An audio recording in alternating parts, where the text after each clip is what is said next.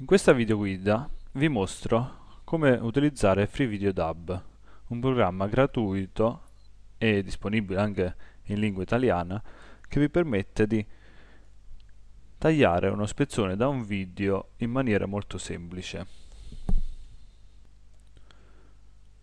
Appena lanciate il programma, se non dovesse comparirvi in italiano, potete cambiare la lingua cliccando su Opzioni e selezionando Italiano dall'elenco disponibile. La prima cosa da fare è caricare all'interno del programma il video da cui vogliamo tagliare lo spezzone. E per fare ciò ci sono due modi. Uno è attraverso il pulsante relativo alla voce file di input. Questo pulsante vi permette di selezionare il video per dai percorsi del vostro computer. L'altro modo, più semplice, vi permette di trascinare direttamente il video dal vostro desktop, ad esempio, all'interno della finestra del programma. In questo modo viene subito riconosciuto e vediamo che è comparso qui il percorso do di dove si trova, mentre da quest'altro lato, dove vi è la scritta file di output, vi compare il percorso e il nome con il quale lo spezzone che andrete a tagliare verrà salvato vedete che per default il programma aggiunge al nome originale del video questo, questa stringa. Ma potete andare a cambiare il nome che volete cliccando su questo pulsante e come prima scrivendo un nome e selezionando il percorso. Fatto ciò potete spostarvi nella parte in basso dell'interfaccia dove vi sono i relativi pulsanti per fare l'operazione che desiderate, ovvero quella di tagliare lo spezzone.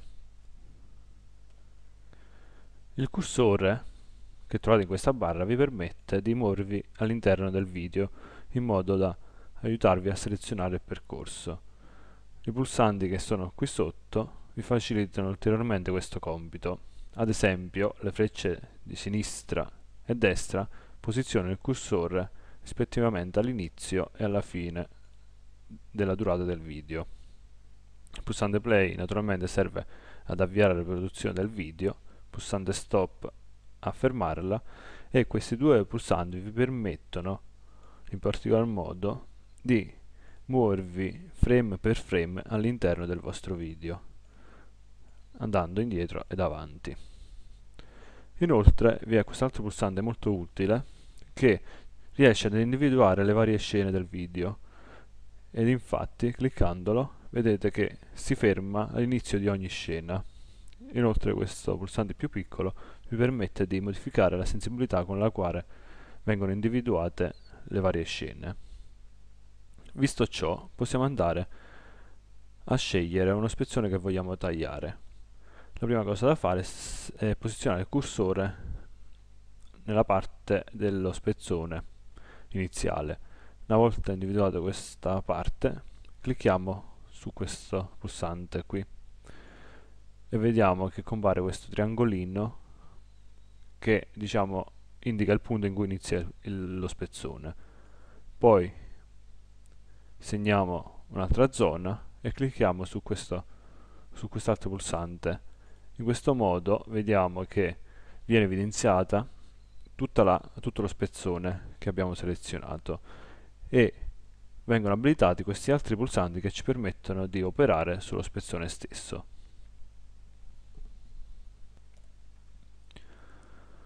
Questo pulsante, ad esempio, ci permette di avviare la riproduzione di soltanto la riproduzione la, lo spezzone del video che abbiamo evidenziato, mentre questo ci permette di cancellare la selezione e quest'altro di spostarci dall'inizio o alla fine della selezione. Questo pulsante qui invece ci permette di eliminare una porzione di video che abbiamo evidenzia evidenziata. Per esempio in questo caso abbiamo evidenziato questo spezzone e cliccando qui andiamo ad eliminare tutto lo spezzone che era contenuto nel video. Con questi pulsanti invece, invece possiamo annullare un'operazione effettuata. Inoltre il programma ci permette anche di usare le varie funzioni attraverso i pulsanti della tastiera e infatti cliccando su questo pulsante ci vengono mostrate le varie operazioni collegate ai relativi pulsanti per azionarle. Il pulsante opzioni ci permette, oltre a cambiare la lingua che abbiamo visto prima, anche a dire al programma di spegnere il computer alla fine del processo, oppure tramite questo pulsante possiamo aggiornare il programma qualora ci fossero nuovi aggiornamenti. Infine, dopo aver selezionato una porzione di video, possiamo andare a salvarlo tramite il pulsante salva video. I valori presenti qui sopra ci indicano rispettivamente la durata totale del video, 3 minuti e 26. Questo è il tempo in cui abbiamo fermato il nostro segmento. Invece questi qui si riferiscono soltanto al nostro spezzone e questo è il tempo in cui abbiamo selezionato l'inizio dello spezzone, questo la fine e questo ci indica la durata totale del nostro spezzone. Quando andiamo a cliccare su salva video dopo un uh, processo che dura a seconda del, della durata dello spezzone che abbiamo selezionato avremo sul nostro percorso il file tagliato ed infatti abbiamo questo file che ha questo nome che abbiamo scelto noi e che eh, si riferisce solamente allo spezzone video. Con questo è tutto. Alla prossima